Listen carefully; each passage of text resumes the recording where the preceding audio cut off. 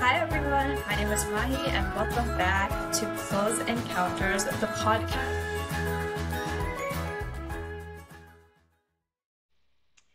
Hi everyone, welcome, welcome, welcome back to Close Encounters. By now you obviously know who I am. I'm Mahi. Hi, your host for the show. So let's get right into it. Our guest for today, well, there's not much to say about him, but I will try to say as much as I can. He has an expanding resume, you know, ranging from all kinds of high techie things, but predominantly public speaking, which is crazy because I love to talk and I love to hear other people talk. He's nurturing other human beings and himself through the art of public speaking, all while he gets his degree in big data and marketing intelligence. It's, it's a miracle I remembered all those big words. But, anyways, to hear about that and more, let's welcome our guest today, David. Hello, hello, everyone, and thank you so much, Mahi, for having me on this amazing, amazing podcast. I am super excited to be here and get this podcast started. Like, I'm super excited to talk about public speaking and, you know, have fun. Fun, yeah. We're gonna have fun. We're gonna talk about, you know, work, work, work. And we're gonna talk mm-hmm. about, you know, fun stuff like what's up with you, what's up like that. So before we get mm. started, how are you doing? What's what's do like what's up with you? What how's life? Life, I would say, is a bit hectic, but it's the weekend. I can never complain. I think after starting to work or during university, weekends are our getaway to just chillax, relax, become the Mm. couch potatoes we all love to be. So Sundays are quite chill with the family. So can't complain. I just had lunch, so it's amazing. Amazing, fun, love that. Usually people tend to feel very lethargic after lunch, as I do so myself, but you know, we soldier through it. Just get through it. Exactly. Anyways, so as I mentioned in your little introduction, that you are currently getting your master's degree in big data and marketing intelligence. I'm going to be very honest with you. Mhm. When I first heard about this, I literally had no idea what it meant. Um, yeah, and I was like, because I just knew there were a lot of things in tech, but I this one was a Mm. doozy for my brain. New, yeah. So if you had to explain what you do to a five-year-old, how would you explain it? Okay. So, if I had to explain this to a five-year-old, that's a very nice way to explain my degree. Let's see if I can quantify it. So, to a five-year-old, if you have a set of Legos and it's completely empty, like it's completely scattered around, my job is to make sure that all the pieces are together so that at the end of it, we can make something pretty cool or like see something pretty cool out of it. So I take bits of data from across the internet or whatever database we're doing, making it into one nice presentation or one nice Excel sheet and tell everyone, guys, this is what I do, this is what the data is about. So that's that's a nutshell of what I do in big data. It was very easy to understand. I think you helped a lot of people out there to really wrap their heads around like 1% of some tech knowledge out there. Anyways, so it's quite interesting, you know, because a lot of people go Mm. into tech mainly, you know, because of the the money. Of course. But Yeah. it's not always anyone's first option because they're just like, okay, well, tech makes me good money. I'll Hmm. just go into it. I'll learn how to live with it later. Did you want to go into it? Did you always sort of have like an inkling for learning about technology, or were you interested in something completely different when you were a kid? What's what's the story behind that? What's the story behind that? That's a good question to ask, really. So, so for my master's, when I got on board, for my bachelor's, I did bus international business management. For my high school AS and A level, I was doing business, psychology, and English. This for A levels. Dude, oh It's it's anyone who does those will know that those are that's the elite, elite Top tier, over like yeah. top tier. Crazy. I've never met someone who the same A levels as me. That's crazy. Amazing. It's amazing. And I had so much fun. I had so much fun with psychology. And I thought, you know what, I'll become a psychologist. You know, find people, ask them what their problem is, read it. But then I realized, Yeah. you know, I'm good at A level psychology, but I'm not sure if I'm really good at actual university psychology. so I took a break after high school, went on board, mm. And worked for like a year, learned business, sales, yeah. and I was like, you know what? Something that's really good is international business. You're going to use them. So COVID was there. You had a lot of time to learn something over and over again. And I was like, you know, international business is my forte. But for my master's, I was like, hmm, everyone does an MBA. Everyone gets a general business degree. What's different? What's unique? So I sat down with my professors and I asked them, what is growing? What is this option? What is nice? And they were like, you know, big data sounds cool. And I was just like, big data? What is that? So my professor, one of my professors gave that Lego analogy. And I was just like, you know what, this is something really interesting and something I am really keen about. So big data is quite fun. Marketing intelligence is quite fun. Let's see what it's about. So that became what I wanted, why I jumped into big data. Interesting. So do you ever get to work with like AI and all that fancy, ex- exciting new things? Yeah. a lot. So in my current company, where I work at, I do manage a lot of data and it's mm-hmm. a lot of records. So my one of my key jobs is optimizing the data. How do you find the best results from the data? So whatever tools are available outside, AI tools or normal tools or tools like Tableau or Power BI or Excel. Excel is amazing. It's amazing. So creating data, finding it, form, formatting it, that's the fun part I like doing a lot. My Excel knowledge is just limited to like count, if, and sum, and all that kind of exciting basic stuff that we do in uni. Uh, yeah. To be honest, when I started this course, my knowledge was that literally. So one of my courses in university was big data and marketing intelligence, and we had to create a functioning dashboard with data analysis, and I was just like, how am I supposed to do that? So I sat with my professor who was incredibly patient with me to know what it is and YouTube. And I was like, okay, let's actually learn Excel basics from the get go to use this. So it really upskilled my basic Excel knowledge over here. Do you ever go through periods like when you first started where you're like, I, I'm just kind of bored. This is where you're kind of on the cusp of like questioning whether you actually want to do this, or you're just like, this is, it gets after a point, it gets too tedious for me.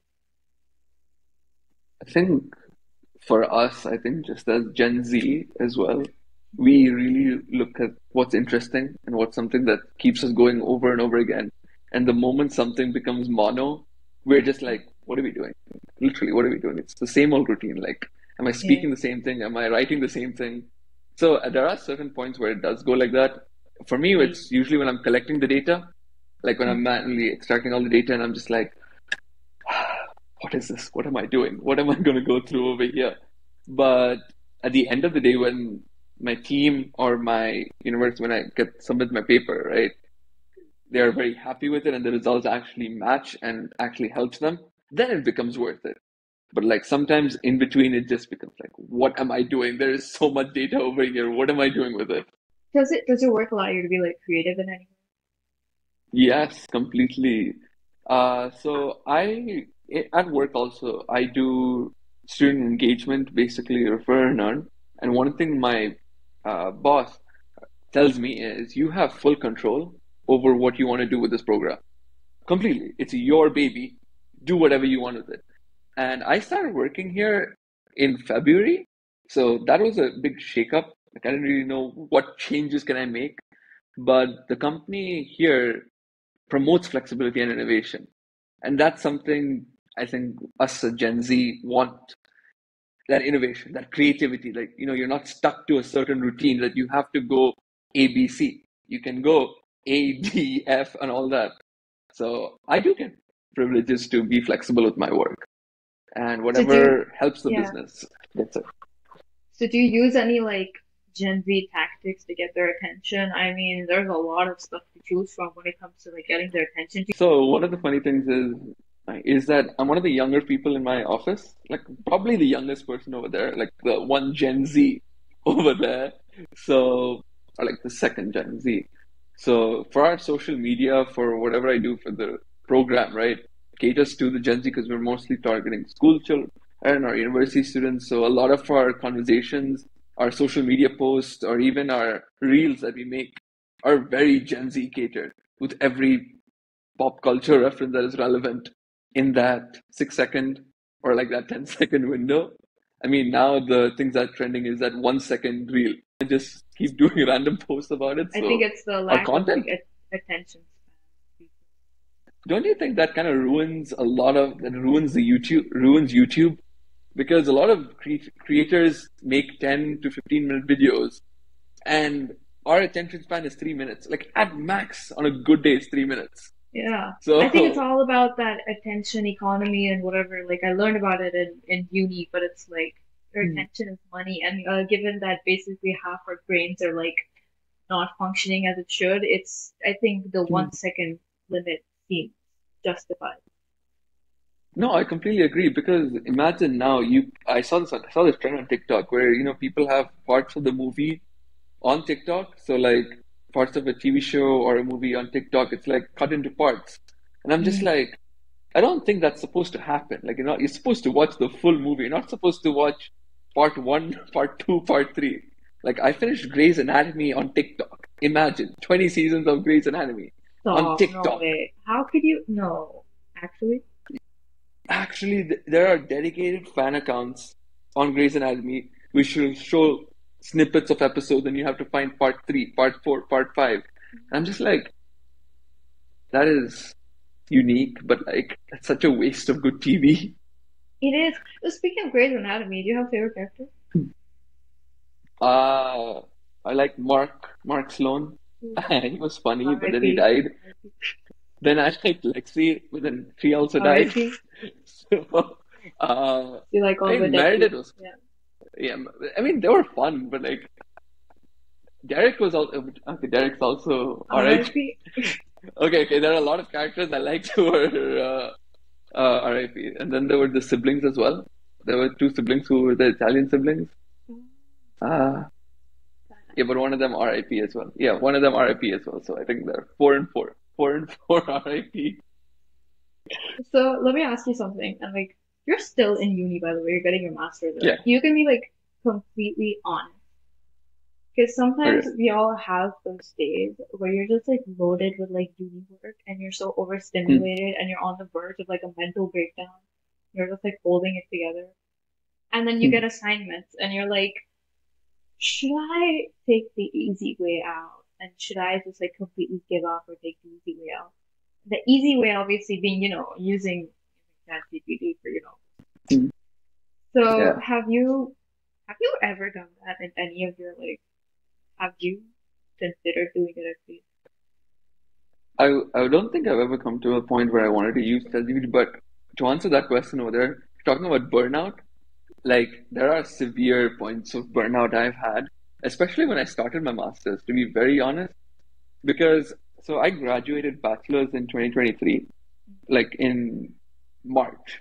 So, but I was already working by that time. So from January to December, I just had work. You were just working. There's no academic pressure or anything like that. And I've been working and studying since since I started uni, year one. So you're always under that mindscape of, oh my God, you have to work, study, work, study, work, study, work, study. But when I had that one year of just like working, I used to come home after work, uh, relax, and not really worry about an assignment or anything like that, right? So your mind just takes it easy. But when I started my master's, and the coursework is actually so much more than bachelor's, I used to have points where I was just like, what am I doing? Why did I do this? I really should just choose one or the other. I shouldn't, uh, I don't need like to put myself, exert myself so much out of there. Like, why am I killing myself? Like, sorry, uh, disclaimer, over this, on and on again. Uh, but I don't think cheating or using ChatGPT for my assignments came to thing because one thing that I really believe, I really have strong values is that I want to do well, and the only person who's going to hold you accountable is yourself. Like, will you be satisfied with going, taking that easy shortcut over there and just like submitting a paper like that? And plus, I have like Yeah. Hmm? ChatGPT is kind of stupid when it comes to assignments. Like sometimes it's really good, other times it's just super dumb and like I it just I don't know. If you say like, oh, you're wrong, they're like, oh yes, I'm wrong. But if you like say you're right, and like, oh yeah, I'm right. You can just like manipulate it any way you want. It's kind of like gullible child to say what you want. Get ChatGPT was fun, or like people may have used it when it just launched because it was a new technology, it was amazing. But it's 2024. There's AI detectors everywhere. The weird thing is, I'm not very reliant on like you know ChatGPT or whatever. I use it if Hmm. I need something that I cannot find. But Yeah. I, I do like my assignments mostly without it. One time I submitted my assignment entirely by myself, no chat GPT whatsoever. It Hmm. detected so much like nonsense. It's like, oh, you used AI here, you used all this information here. And it was like a full stop or a comma or something like that. And this is like, oh, this is AI. Do you, do you know how annoying those sometimes those Turnitin is? Like they'll detect and or or a full stop, and you're just like, what am I supposed to do with that? Like how what am I supposed to replace and with Yeah, or and or with? and these are like my words. Like I put my heart and soul into these words, and it's like, oh, you've used like AI. Well, let's talk a little bit about your public speaking, okay? Because for me, when I, you know, when you first introduced yourself to me, I think your public speaking was like your USP, and I was like, that's Oh, because I was like going through your Instagram. I'm like, interesting, new person. Let's see what they're up to. Hmm. You have a lot of like, I want to say. Hon- Honestly, I'm trying to like think of the best way to put it. You have like a lot of mini side hustles going on, where you're just like yeah. in the weekends I go here or I do that. I'm just like whatever. So let's see. You're a Toastmaster. Saying that? Mm-hmm. Yes. Again, I learned something new that day when I looked up what it was. I thought it had something to do with chess, and I was gonna ask you about chess, but then I'm like, never mind. Wow. And then you're also a part of a, a Gavels club. That's also again I learned something new. So it's all about public speaking for you. And what what is it about public speaking where you're just like I love talking? What is it about it? Funny you brought that up. Okay. So yeah, that's the first time someone says like my USP is public speaking. So kind of is at this point. I realized like four years in, like I realized public speaking is my USP. So public speaking, it started in 2020 during COVID, literally during my gap year when the whole world went into shutdown, complete and utter shutdown. I didn't know what to do. Like genuinely speaking, I was lost because I wanted to go to India to do my law exam, but it just kept getting pushed. The examination kept getting pushed because India was going through a horrible case of COVID. And it was very unfortunate that people were getting, there so many hospitals being filled, everything bad happening was times 10 in because of the population, anything like that. So my law exam got postponed indefinitely, and I was like, damn, I don't have no plans. So I decided, you know what? Everyone's doing something, but let's do a podcast. Back then in 2020, there really wasn't anything podcasty like over there, especially on Zoom. So I said, you know what? I like speaking, but I like interviewing people also or sharing people their story. So I had a podcast titled We Impact. So I brought along youth from across the world. So we got people from South Africa, Algeria, Morocco, UK, anyone who can share their story, come on board my podcast. And it just happened. So one episode happened. I watch it back. It's the worst episode I've recorded. I was stuttering, using um, ah, e, ah, all that filler words. But as it went on, I realized, oh, this is something of interest. I like speaking. I like speaking to people as well. So when I joined uni, they had something called a Toastmaster Club. And I was like, what is a Toastmaster? You thought it was chess. I thought it's people who has something to do with toast. Yeah, Like literally, yeah. I They thought so too. I was like, yes, you become a master of toast. I was like, that's, and my mom was the one who used to push me for it. Go join a Toastmaster club. Do, go join a Toastmaster club. And we joined uni and they had a Toastmaster club. And my friends over there, who were all seniors, said, you can go on stage and speak and people will applaud you no matter what. And I was like, really? Really? So I went on stage and I realized I really like it. And then it just went on like that. One speech led to another speech, another speech, and I was like, this is actually kind of fun. It's quite interesting. So for three years, I was just trying to be a, the best speaker in the world. And I didn't I realized that, you know, every year I realized there's someone better than me, someone better, someone better, someone better, until year before last where I competed. And then I went to the world championship. I was like, damn, that's so much fun. I lost in this. I lost in the semifinals. Like, that was sad, and I was so super depressed. But then it just came like I learned so much. Why don't I just teach someone else about public speaking? And then that's how the Gavels Club came to be. So in our university, we had a speaking club for children who don't really get like I, my aim was along with my co-mentor and the faculty was give an opportunity to kids who don't would not usually get the opportunity in school so that they can they can get leadership opportunities networking growth opportunities in the gavels club that's what we wanted to do so we did that and for two years it's been going quite well so we transitioned to a mentor and speaking role so that's how it started really the whole speaking journey and gavels and toastmasters you're kind of like the Mr. Miyagi from Karate Kid. You're like a mentor for. I'm so happy someone got that. Like someone like gets uh, knows a Karate Kid reference or Mr. Miyagi. Is it because of Cobra Kai or is it because of the Karate Kid? Um, I have been there. I have been around since like the movies after that. It's not from Cobra. I haven't even watched Cobra Kai. Just, yeah. Same, same. OG, OG. Yeah. I'm all about the Jackie Chan movie and then the Rock. You, know. you said in your Toastmasters club that you go up on stage, you talk about anything, and people will applaud you. Now, you can use that to your advantage in so many levels, especially if you just love to constantly talk about anything and everything. Mm. So aside from, you know, all the stuff we've spoken about so far, if you could go up there and talk about any topic, no judgment whatsoever, because you know you're going to receive the applause, what is one topic mm. you can like go on and on and then switch to like a different one, you know? You're just like, what are some topics you could just go like on and on? Okay, so I'm a big movie buff. I love movies, so I can talk to you about. Yeah, I can talk to you about any era of movies because my mom was such a mom and dad both are really huge, huge movie buff.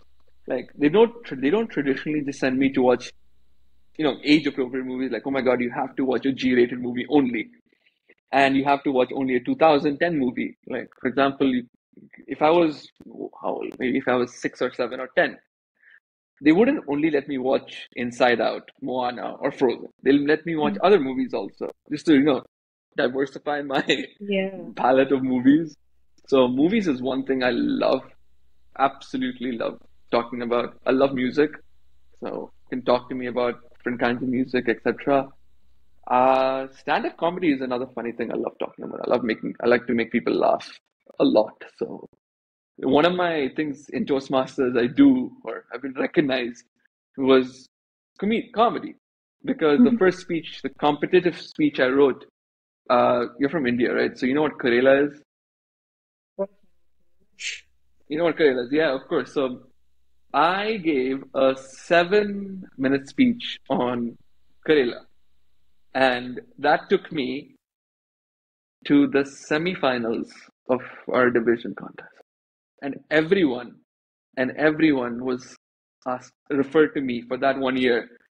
You're the Karela guy, right? You're the Karela guy, right? You're the Karela guy. And I was like, guys, you know, I gave an inspiring speech about my parents and my career and like my journey as well. But everyone okay. just referred to me as Karela. So, Consequences of your actions, I guess.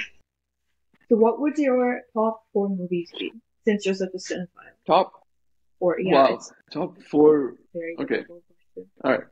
Comedy. Comedy. One of the best comedy movies. It's controversial. I don't know if everyone like it. Is Tropic Thunder. Oof. Tropic Thunder is is by far one of the funniest movies, but it's a movie that will never be shown in yeah. 2024. Yeah, ever, it will. It ever. will. It will get cancelled in a second. so, top Tropic Thunder is one. Uh, are we including Bollywood as well? Yeah, literally. English, Spanish, French, anything. It's really up to you. Okay, so um, Tropic Thunder is one. I absolutely love. Oh yeah, number one for me. I'm going to say number one is Rocky, the oh. Rocky series. that is one series I can watch on repeat. So Rocky one to six, I guess, is number one. Uh, I would say number two is uh, Andaz Up, the Shah- the Aamir Khan and Salman Khan movie.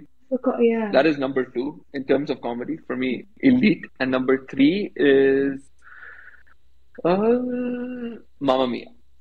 Mamma Mia. Like, what about you? Sorry. Well, oh, what about What's your that's- for? Oh my. Okay. Wow. That's a lot of. That's a lot of pressure. So I've Exactly. It's a yeah. it's a conversation. It's a I- conversation. I have I have been waiting until I get invited to like a red carpet and I see Letterboxd. It's like give us your top four. Hopefully I would have been more prepared by then. Okay, I'm gonna give it's gonna be like a very disoriented list. Okay. Okay. Uh white chick for sure. Uh white Okay. comedy. That's, that's like classic comedy. I always change between Rush Hour 2 and 3, but I'm gonna say Rush Hour 3. Okay. And then Interstellar. I feel it's a really Interstellar as a okay, yeah, okay, it's, it's a good movie, yeah. Interstellar, and then it will change your life. That It's is- based on a real story. It it nominated for an Oscar and everything. They were wrong, but that's a whole different thing. You have to watch it. That is Yeah. though I can like relate to three of them. Like Rush Hour series is childhood, like on repeat, you watch it. White Chicks, that was such a unique movie. You know that 2000s era of movies? You know Yeah. those 2000 like Click, Rush Yeah. Hour. I know, yeah, Rush Hour was 2000s. Uh, White Chicks, then there was that uh, what's that? Happy Gilmore and all those Adam Sandler. I, I, I'm gonna add a number five Adam Sandler mention. Like I love all his movies. It is. So It is amazing. just all I- I his love entire filmography was like Adam Sandler. You know, the one movie I would say was is really close to home and which my brother and I loved the most because we annoyed our aunt so much about it was Grown Ups. Like, waiting for grown up. Where, where's the grown ups mention? It has to be okay, there. so imagine, imagine my aunt, like, she's from that generation, like, like really old generation of that. Like, not too old, but that, let's say 80s is 80s to 70s was a good time for her, yeah. peak cinema. Imagine watching a movie like Grown Ups. Imagine. Like, she hated that movie so much. Like, what is, what are they watching? What, what are the kids watching? So my brother and I, even though we saw the movie once, we saw it twice, we used to watch it on repeat just to annoy my aunt, just to annoy my aunt. Yeah, Adam Sandler movies were so nice. It's just family friendly movies. Yeah, uh, so what about like the Hangover movies? I feel like that falls sort of like in the same genre. See, hangover movies is uh like being very honest, it's like a dream for every group of guys to just go on their Mhm. like bachelor trip to go to experience like once in your life.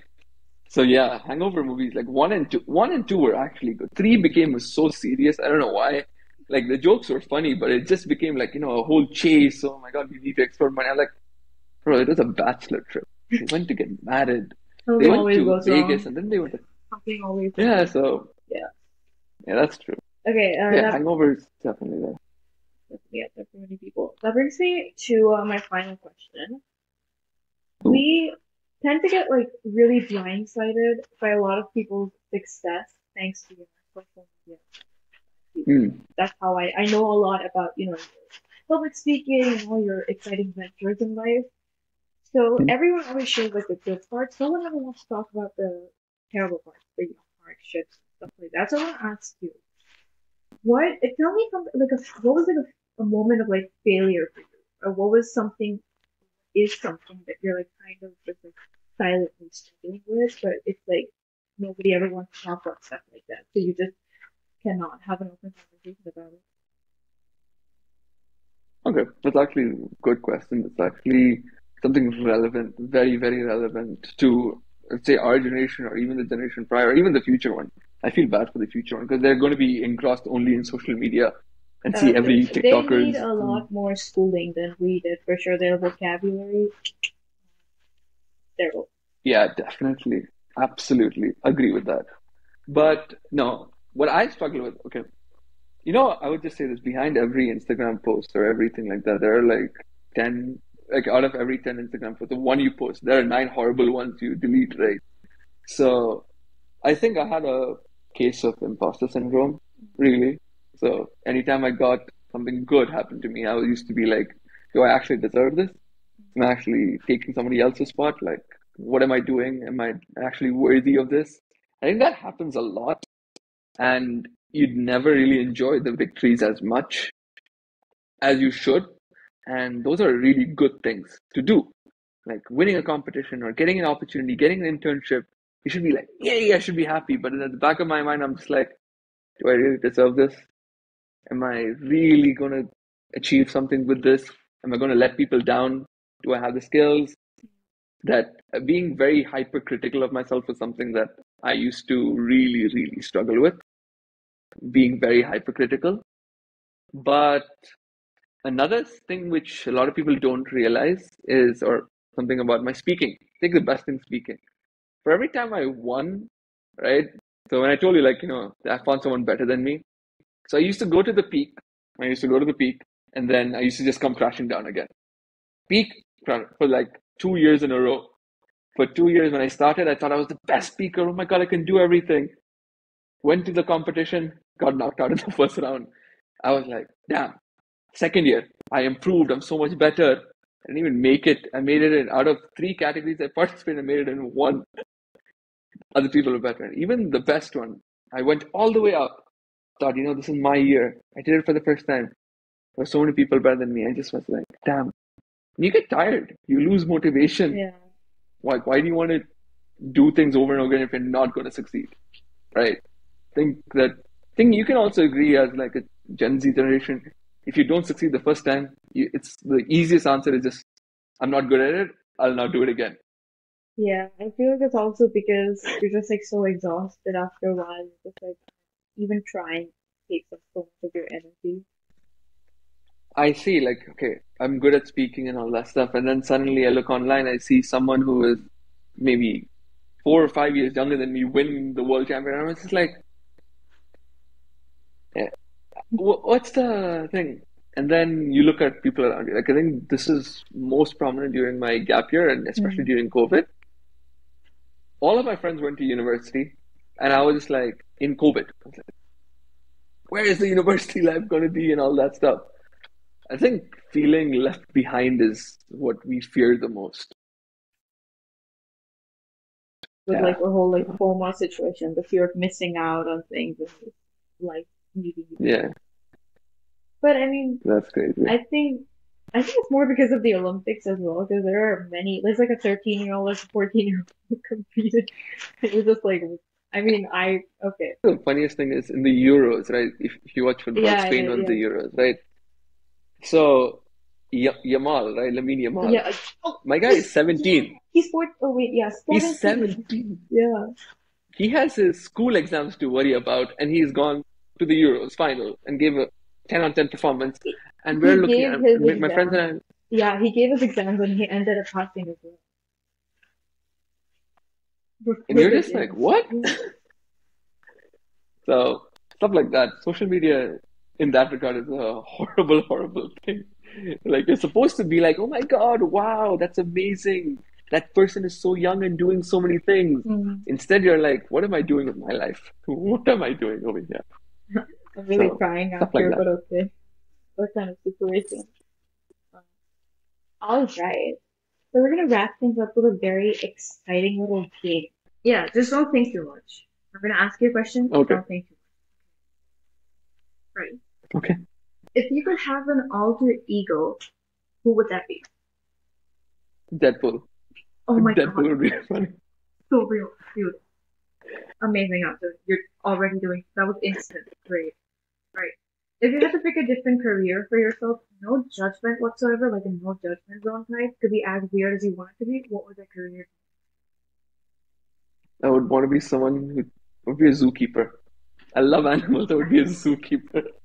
Oh, oh that what is there any specific animal you'd like cater to? Because I do a panda. Dolphins. What the Dolphins. Dolphins. I love dolphins so much. They're my favorite animal. Um, so cute. Okay. Okay, so if you were in a Freaky Friday situation and you switched bodies and lives with someone, who would that person be? Gordon Ramsay. Wow, that's that's not diversity in your answers. Can I ask why? Because I, I just have Can you, you know, the thing is, Gordon Ramsay has a lot of places he goes and tries new food, and he has a series called Hell's Kitchen where he renovates the whole place and he gets a lot of nice food and bad food, but then again, you get to try new things. And he goes around the country with his Italian buddy. I forgot his name, but he Gino. made that Yeah. Gino. Yeah, yeah. So he went around the country just trying to new food and trying stuff like that. So I think that's an amazing time. I want to do that. And you have money, so you can do that, right? And, be you like, oh, get I'm more money while chef. doing the whole thing.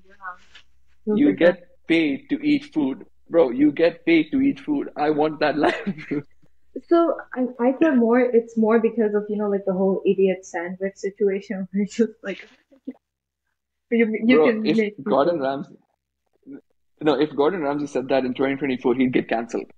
Imagine calling someone an idiot sandwich, and they'll be like, "No, I have to complain to HR. I'm, I can't. He called me an idiot sandwich." Okay. Last question. Now this one involves some thinking. Picture this. If you were the president, what is Mm. one rule you would put into action almost like immediately?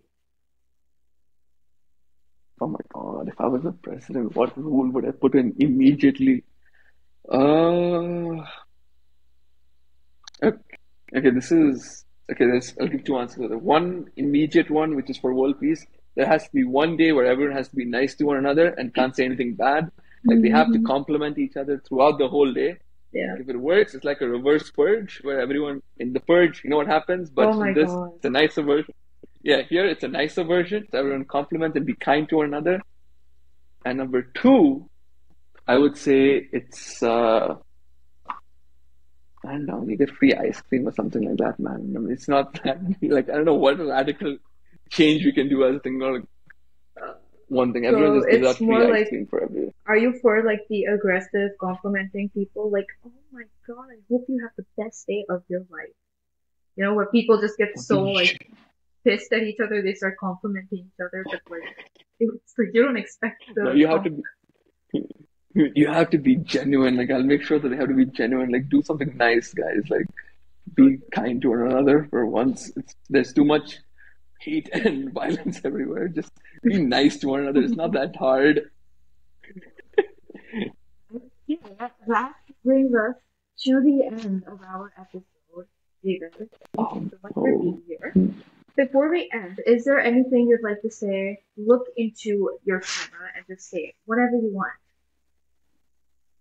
Okay. First thing is the usual. Thank you so much for having me. I had an amazing time. It was so much fun. Like I enjoyed this a lot. I generally thought this was going to be a very serious podcast about Oh, God, my no. career, dissecting how do I do this, how do I do that. But it was actually a lot of fun, and we got to discuss a lot of nice movies. It was amazing. So it's a good thing. Both of us are cinephiles. Amazing.